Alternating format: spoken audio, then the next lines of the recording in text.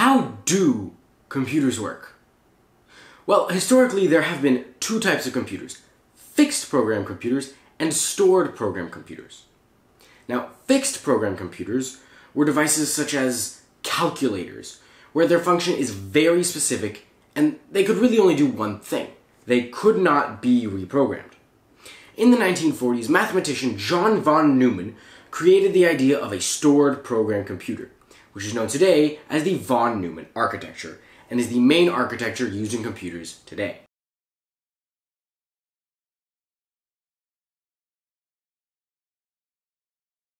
Stored program computers can be programs to carry out many different tasks. Applications are stored on them, hence the name. But how exactly does it work? The central concept of the von Neumann architecture is that units that process information are separate from units that store information. The von Neumann architecture has two main components, the CPU, or Central Processing Unit, and the memory. I will go more into each of these different components in just a bit. The underlying principle of the von Neumann architecture is that data and instructions are stored in memory and are treated the same, meaning that instructions and data are both addressable in the same way. It operates using four simple steps. Fetch, decode, execute, and store, called the machine cycle.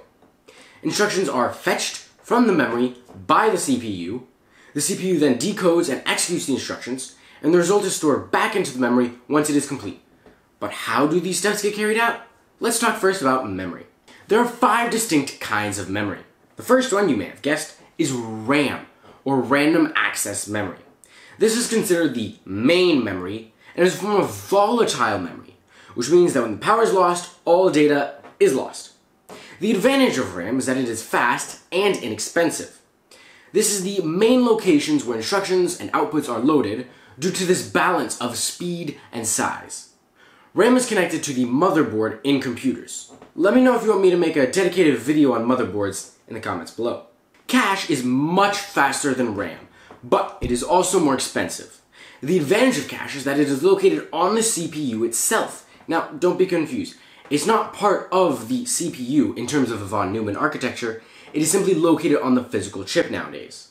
This has several advantages.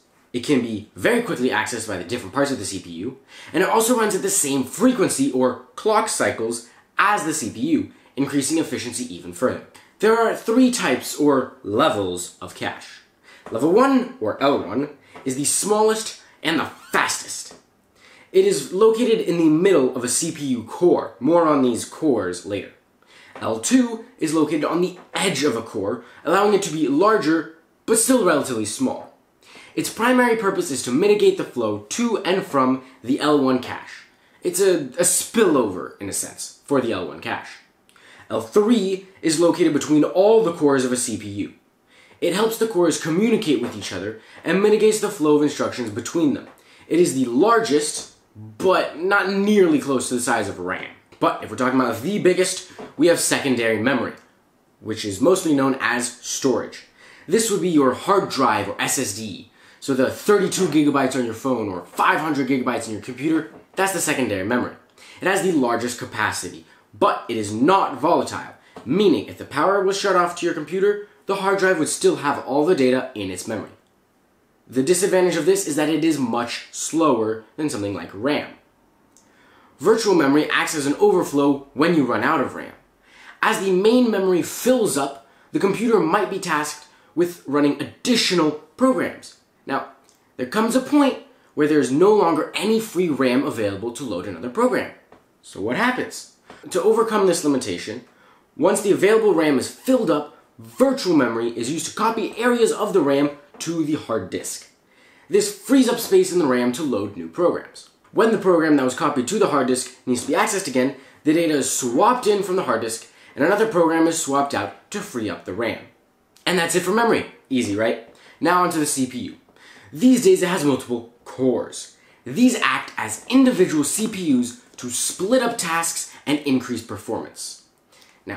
For the purposes of the von Neumann architecture, we will only really talk about single core processors.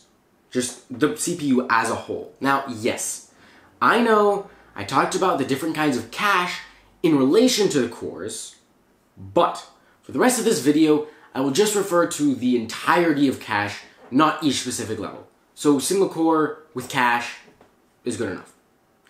Now back to the CPU. The CPU has two main parts, the control unit and the arithmetic logic unit.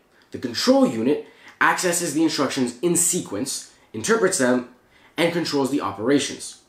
The main part of a control unit is called the program counter, which increments after each step in a program. The control unit controls the flow of these steps, determining if the program should repeat a step, loop, go back, go forwards, or stop. The arithmetic logic unit is responsible for the operation of the steps in a program. Modern CPUs also have a floating point unit, but it's really just a more advanced form of an arithmetic logic unit. Arithmetic, meaning operations involving addition, subtraction, and the like. Logic, meaning Boolean tests, like true or false operations. So, now that we know the different parts of the memory and the CPU, let's go back to the four steps of the machine cycle. Step 1, fetch. This gets the instructions from the RAM and puts them in the cache to be accessed by the control unit. Step 2, decode. The control unit decodes the instructions into a form the arithmetic logic unit can understand and feeds them to the arithmetic logic unit. Step 3, execute. The arithmetic logic unit executes the instructions and outputs the result to the cache. Step 4, store. Once the program counter says stop, the result is offloaded to the main memory. And that's it. That's pretty much how a computer works. Now, since the introduction of the von Neumann architecture, many more specific architectures or instruction sets have been developed that work in more specific ways, including x86-64 and ARM, or even more specific like Skylake or Zen. But all computers, or anything with a processor and memory, runs in the same way using the von Neumann architecture. Now that's it for this video. I hope you enjoyed it. I definitely enjoyed making it, and I hope you learned something about how computers work. Let me know if you want me to make a more detailed uh, video about anything I mentioned here, um, perhaps x86 or motherboards. Just let me know in down in the comments below.